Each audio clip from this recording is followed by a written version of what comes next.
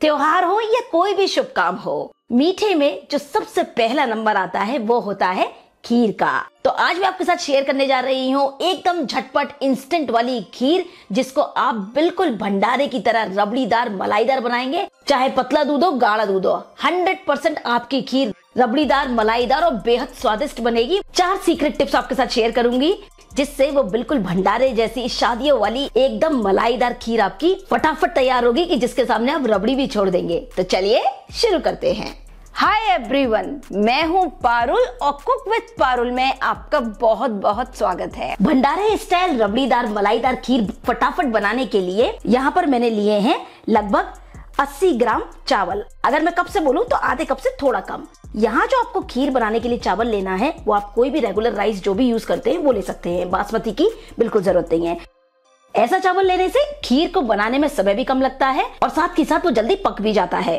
आपके पास अगर वो छोटा वाला चावल हो, खिचड़ी वाला, टुकड़ा राइस जिसे बोलते हैं तो वो भी यूज़ कर सकते हैं। तो सबसे पहले हम चावल को बढ़िया से धो लेंगे दो से तीन बार। उसके बाद हमें चावल को रखना होगा लगभग 20 से 30 मिनट के लिए अच्छे से पानी में भिगो करके। तो मैंने पहले ही पानी में भिगो दिया था। बिल्कुल बढ़िया तैयार हो गए। देखिए, जब आप इस तरह से दबाएँगे तो देखिए, टूट रहा है आसानी से। ये बिल्कुल बढ़िया फूल गए हैं सिर्फ़ आधे घंटे के अंदर। और ये लीजिए, मैंने चावल का सारा पानी छल्ली से निकाल दिया है। आप देख सकते हैं, बिल्कुल पानी नहीं है। तो अब देखते हैं नेक्स्ट स्टेप अब आप गैस पर चलाइए एक बड़ी सी कढ़ाई या पैन, थोड़ा सा फैला हुआ बड़ा लीजिए, जिससे कि आप खीर को आसानी से खटका पाए, यानी कि बॉईल कर पाए। अब यहाँ कढ़ाई में सबसे पहले हम डालेंगे थोड़ा सा पानी। ऐसे बन के चलिए दो चम्मच के करीब आप पानी डालें और पूरे पानी को इस तरह रोटेट कर दें, यानी घुमा दें। इससे क्या होगा, जो दूध है वो तले में बिल्कुल चिपकेगा नहीं और उसमें जलने की स्मेल नहीं आएगी। अब कढ़ाई में हम डालेंगे एक लीटर दूध। ये सिंपल मैंने कच्चा दूध लिया है, जो रेगुलर में सुबह घर में आता है, बस वही दूध है। आज जो ये खीर है, इसके लिए आपको कोई ज़रूरी नहीं है कि आप फुल फैट मिल्क की लें। मैं आपको वो तरीका बता रही हूँ कि पतले दूध से भी मेरी गारंटी है आप एकदम बढ़िया रबड़ीदार, मलाईदार खीर बना पाएँगे। क्योंकि मैं आपको बताऊँगी कुछ खास सीक्रेट टिप्स और दूध में मीडियम हाई फ्लेम पर आने देंगे हम उबाल। एक स्पेटुला या चम्मच आप इस तरह से दूध में डाल दें, जिससे कि जो दूध है, वो बाहर ना आए उबल कर और साथ के साथ नीचे लगे नहीं। इस कढ़ाई को उठाकर रख देते हैं पास वाली गैस पर। और यहाँ रखते हैं एक पैन। अब पैन में डालिए एक चम्मच घी। फिर देखिए आपकी खीर में क्या ज़बरदस्त टेस्ट आता है। और यहाँ पर मैंने लिए थोड़े से ड्राई फ्रूट्स खीर में ड्राई फ्रूट्स डालना पूरी तरह से ऑप्शनल है। आप लाइक करें तो डालें, वरना आप इस स्टेप को स्किप कर सकते हैं। प्लेन खीर भी बना सकते हैं, वो भी बढ़िया लगती है।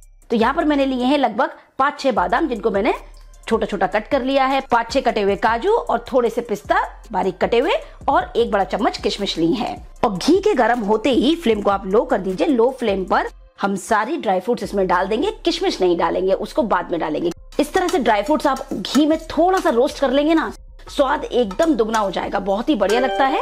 वैसे चाहे आप बिना रोस्ट के भी डाल सकते हैं। मैं बिल्कुल वो हलवाई वाले जो भंडारे में बनती है ना खीर, वो वाला तरीका बता रही हूँ आपको। ज़्यादा टाइम बिल्कुल नहीं लगेगा इसमें। दूध हमारा उधर उबल ही रहा है।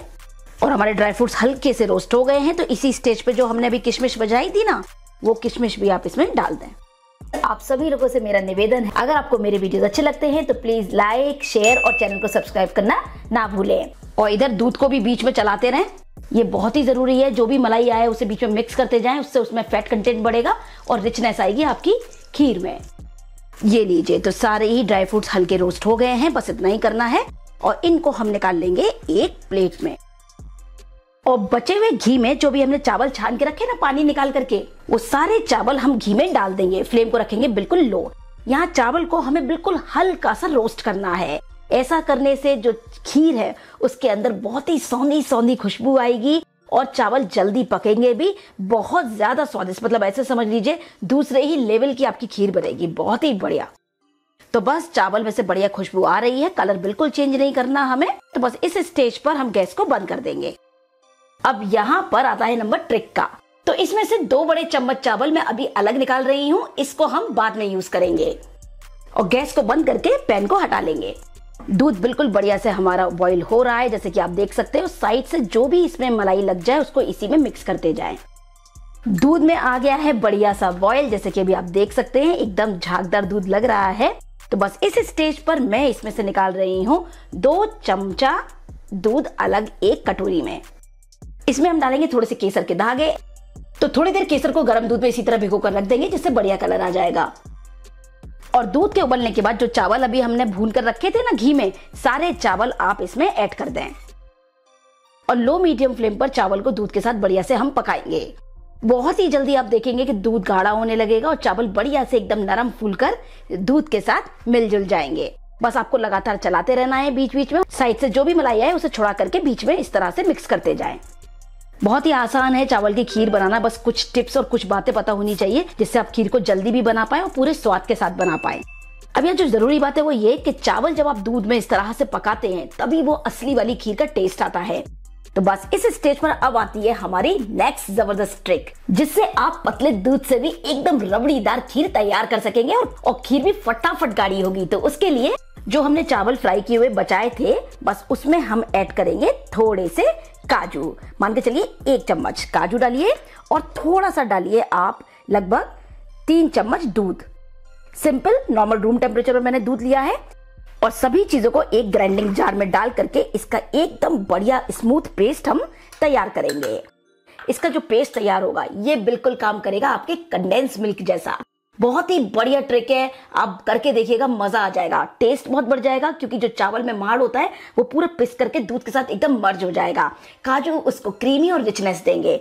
और ये लीजिए, आप देख सकते हैं, एकदम परफेक्ट और पूरे मिक्स को हम डाल देंगे खीर में। अब आप देखिएगा कि खीर कितनी जल्दी गाढ़ी होगी, पूरा आपका समय बच जाएगा और इसमें एकदम वैसी ही कंसिस्टेंसी आ जाएगी, जैसे आपने खीर में कंडेंस मिल्क डाला हो, यानी मिल्क मेड डाला हो। और ये देखिए, कितनी जल्दी हमारी खीर एकदम गाढ़ी तैयार हुई है, ये देखिए। आप देख सकते हैं कि पूरी स्पून एकदम कोट हो रही है, ये देखिए। बिल्कुल भी समय नहीं लगता जब हम काजू और चावल का जो हमने पेस्ट तैयार किया उसको डालते हैं तो तुरंत ही उसके बाद ये इस तरह से एकदम क्रीमी, जैसे आपने इसमें कंडेंस मिल्क डाला हो, एकदम गाढ़ी इस तरह तैयार हो जाती है। इस स्टेज पर मैं इसमें डाल रही हूँ पाँच बड़े चम्मच चीनी। आप अपने स्वाद के अनुसार थोड़ी सी कम ज़्यादा कर सकते हैं। और अच्छे से चीनी को भी करेंगे मिक्स। और यहीं पर इसमें हम डाल देंगे केसर वाला दूध। देखिए कितना प्यारा कलर आ गया है केसर का। गर्म दूध में भिगोया था ना तो इससे बहुत ही बढ़िया फ्लेवर और कलर जो आएगा खीर में, बिल्कुल लगेगा जैसे आप दावतों वाली खीर खा रहे हैं। अच्छे से करेंगे मिक्स साथ ही में फ्लेवर के लिए मैं इसमें डाल रही हूँ थोड़ा सा इलायची पाउडर, एक छोटी चम्मच, और इसे भी करेंगे मिक्स मिक्स मिक्स बहुत ही जल्दी चीनी खुल जाएगी और अभी आप इसका टेक्सचर देख सकते हैं। कि ऐसी रबड़ीदार खीर आपने पहले कभी नहीं बनाई होगी, और वो भी बिना किसी मिल्क पाउडर बिना कॉर्नफ्लावर और बिना किसी कंडेंस मिल्क के, और बिना घंटों लगाए। मिनटों में तैयार होने वाली हमारी इंस्टेंट रबड़ीदार चावल की खीर। तो बस इस स्टेज पर जो भी हमने ड्राई फ्रूट्स फ्राई करके रखे थे ना रोस्ट करके, थोड़े डाल देंगे और थोड़े से गार्निशिंग के लिए बचा लेंगे। मैं बस आपको इतना ही बोलूँगी, ये इतनी स्वाद भरी खीर बनेगी कि आप हमेशा खीर मेरे ही तरीके से बनाएँगे। ये जो क्रीमी आप, ये ये जो चीज़ देख रहे हैं ये नहीं आ पाती है जब हम दूध को कितना भी गाढ़ा कर करके बनाते हैं, तक टाइम भी लग जाता है। लेकिन ये जो टेक्सचर आया है, ये आपका आया है, जो चावल हमने पीस कर डाले और काजू डाले। थोड़ा सा एक बस उबाल इसमें लो मीडियम फ्लेम पर आने देंगे। और वैसे भी काफ़ी गाढ़ी हो गई है। मेरे पास ना ये थोड़ी सी चिरौंजी भी है तो मुझे अभी दिख गई तो मैं फटाफट से ये भी इसमें मसल कर डाल देती हूँ। बहुत अच्छी लगती है चिरौंजी। और इसको भी करिए मिक्स त्योहार की खीर बना रहे हैं तो त्योहार की तरह रिच होनी चाहिए ना। बहुत ही शानदार खीर हमारी बनकर के तैयार है। गैस को बंद कर देंगे और ये देखिए मैं फिर से आपको दिखा रही हूँ कंसिस्टेंसी चावल बिल्कुल दूध के साथ हिल मिल गए हैं। एकदम बिल्कुल ऐसा नहीं कि चावल अलग जा रहे हो, दूध अलग जा रहा हो। बिल्कुल भी नहीं। एकदम ज़बरदस्त।